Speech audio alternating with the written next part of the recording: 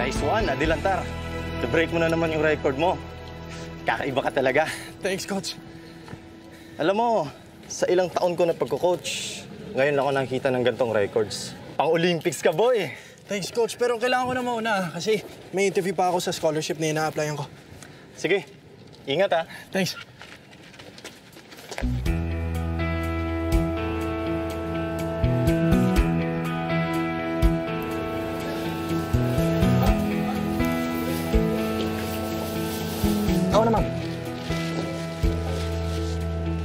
Dito po kayo.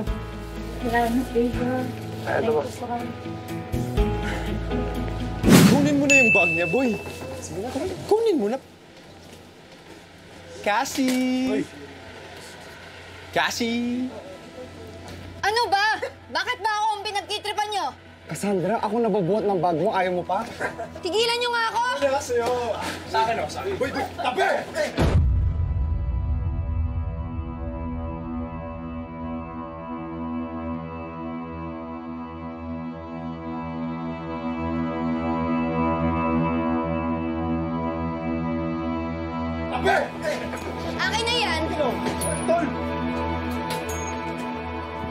Ano ba?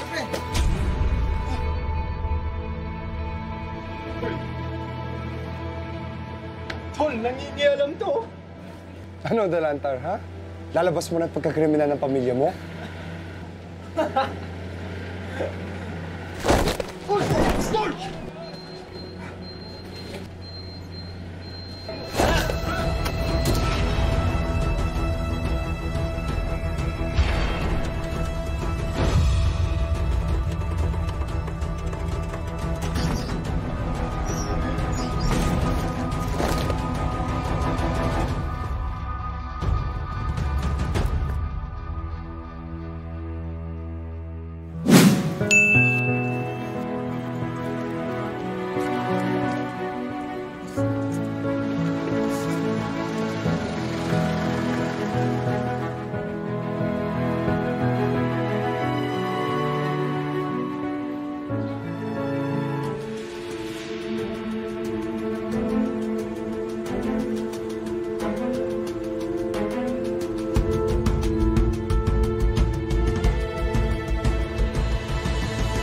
Course ang pinaplano mong kunin?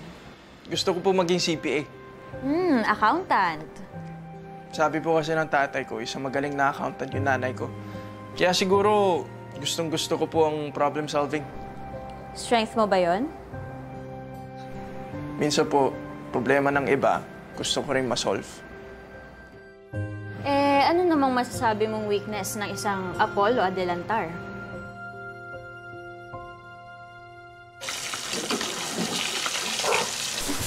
O eh, ano pa ang tinanong sa'yo sa interview? Tinanong ako kung ano daw yung weakness ko. Ano sinagot mo? English.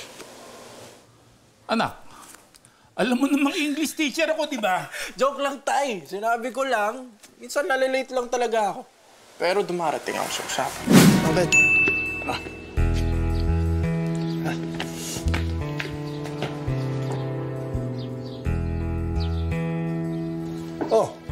Yayayain ko sana kayo kumain sa labas eh. Hindi na po, Uncle.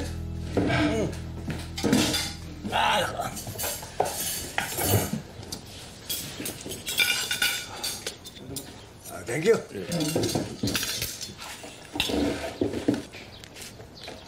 Sabi ni Miss Capistrano, nag-apply ka daw ng scholarship. Ha? Opo. Ano mo na kailangan yun? Kahit saan, pwede kitang paaralin. At kahit anong kursong gusto mo. Ha?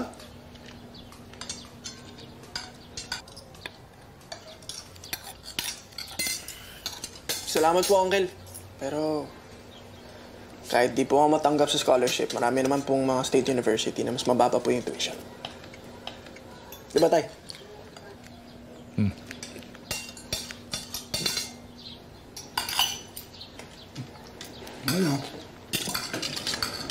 Sige. Sino luto ito? Ako po, Uncle. Ayun. Kahit medyo, medyo sunog, masarap pa rin. Ayos, ang bola.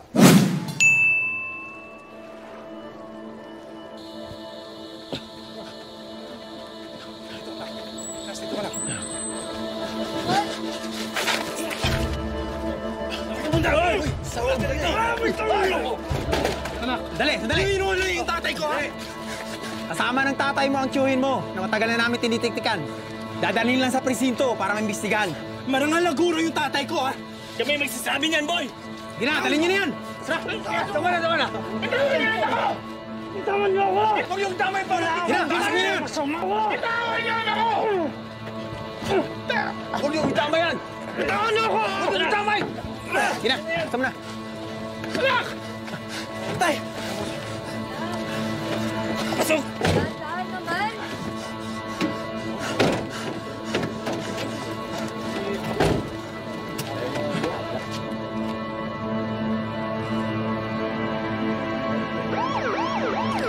Hector, ano na naman ba to? Pati bata. Nagdamay sa'yo. Magtripan nga lang kami. Ayos na, inayos ng abogado. Ngayon, wala nang problema. Kamuntik na pati si Apollo na damay sa ginagawa mo. Sinabi ko naman sa'yo, tigilan mo na yan eh! Ano mo problema ito? Wala na sige na, sige na, tayo. Okay na nga eh. Problema mo.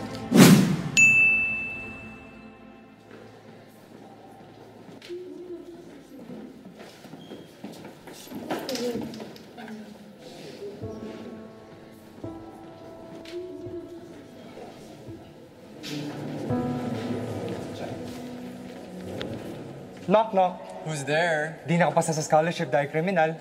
Who? Eddie si Apollo!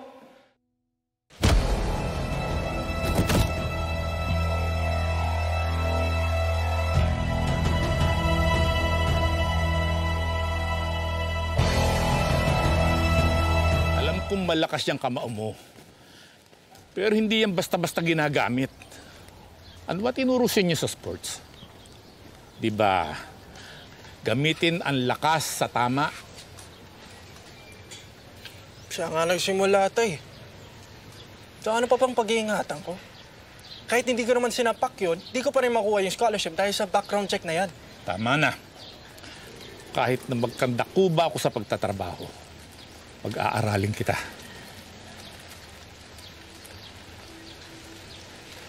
Sorry, sorry po.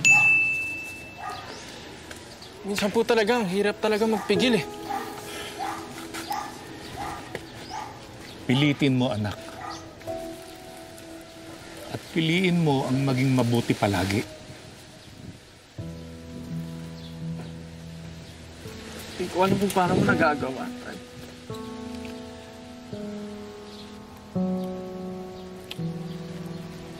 O, eto. Kapag nanggigigil ka, tignan mo lang to. Para lagi mo maalala ang mga paalala ko sa'yo. Walang mabuti kung walang masama. Walang masama kung walang mabuti. Nasa sayo kung alin ka doon. Salamat, Tay.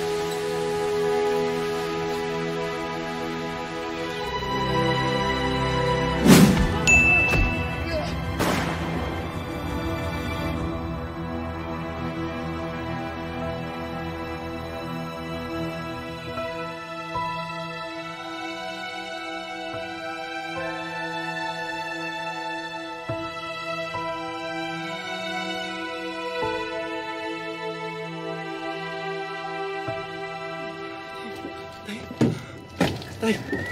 Tay! Tay! Tay! Tay!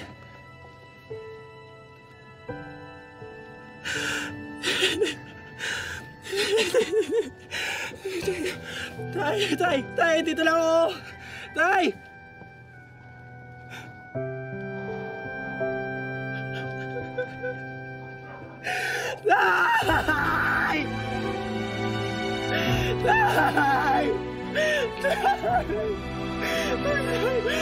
Tay!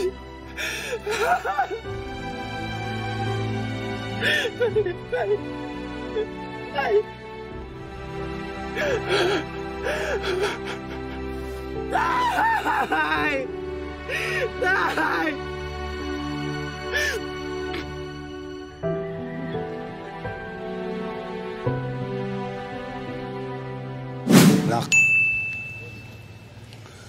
Magbuhat ngayon ako nang mag-aalaga sa'yo. At sa bahay ka natitira. At kung sino man ang gumawa nito sa tatay mo, mamamatay ito sa bilangguan. Para saan pa, Uncle? Ano magagawa nun? Inuulit ko, ang kriminal na gumawa nito sa tatay mo, magbabayad ng mahal.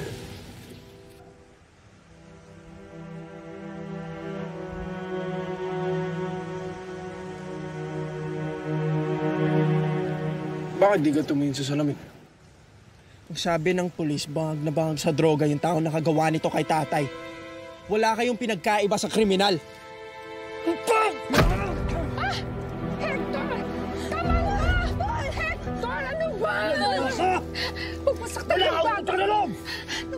Hayop ka! Pa, tama na.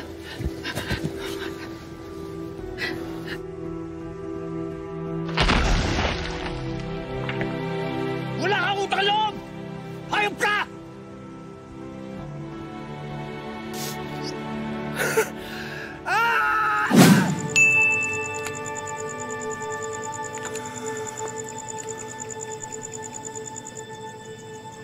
Sana mapatawad mo ako.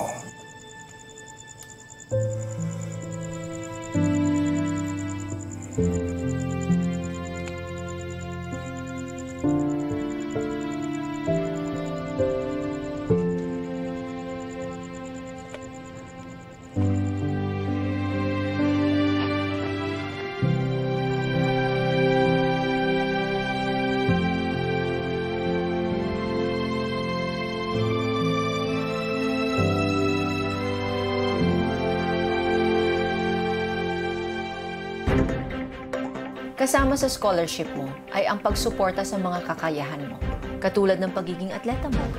Kaya hindi natin pababayaan ang physical training mo.